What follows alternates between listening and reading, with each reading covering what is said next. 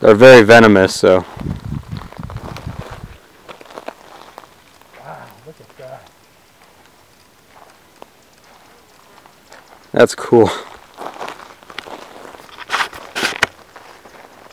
Yep, not moving too fast. Just chill.